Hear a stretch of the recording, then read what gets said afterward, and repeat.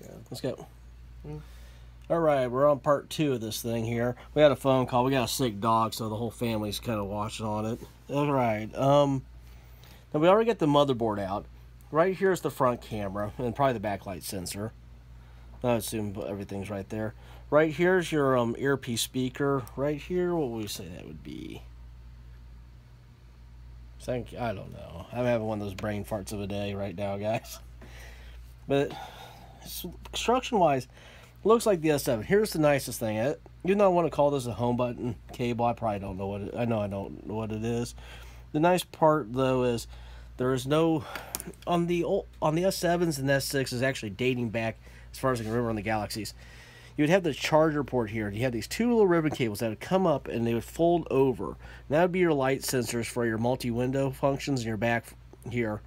And of course your home button would be a cable that went up underneath the LCD and right and you'd have the home button here and be impossible to fix without in a lot of cases or you spend enough time and money trying to fix it. It looks like this part comes out, so let's see if it does.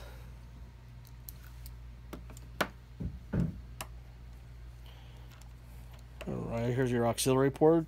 Samsung was smart and didn't screw up. You notice now this screw here is different. Let's put that off to the side. Let's get that bad boy out of here. Alright, she just lifts. Auxiliary port, just like the S7s, actually looks. I know if they actually scrapped a lot of parts. Your antenna cables, we're just going to go ahead and lift those up. I'll leave them attached. No sense in doing them down there.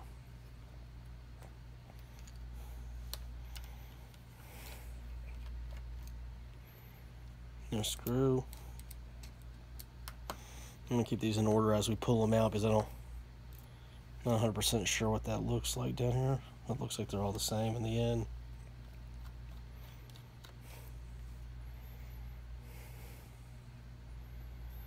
If you guys heard me talk about on the other thing where I thought the um, it looked like it would just pop apart, I want to give Samsung credit. The um, new adhesive is quite heavy. Um, we thought we would be have a simple video where we'd just be able to pop off the back for you guys. End up taking forever and ever and ever to do this.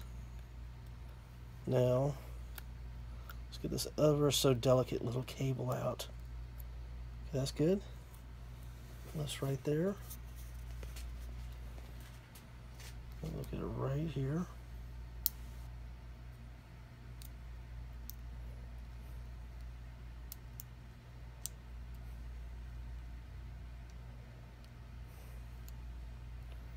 stop right there.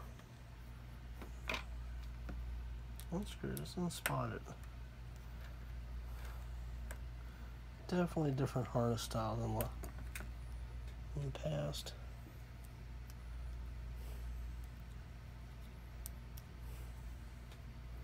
Let's see if we can get her off. I want to make a big video about this, but for me, this was always one of my pet peeves with Samsungs. This is just like that. Trick is around the boardy closures. Alright.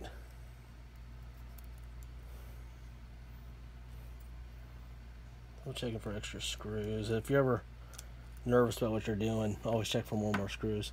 Look at that sexy thing. That comes right out. It's going to be a nice, easy charger port repair. These Type-Cs just I don't know if you get shop owners or if you're a guy just thinking about buying this. I've seen a lot of people already rip the center part out, especially on the ZTE Z Max Pros from the Metro PCS. They'll seem to fall right out on a lot of people. This is going to be a beautiful phone to fix for people. Just beautiful. Let take a look here in the housing, how nice and clean that looks. And we're not going to take the battery out or the LCD out. I just don't want to mess with that. Um, being honest, I never felt confident in myself taking these things out.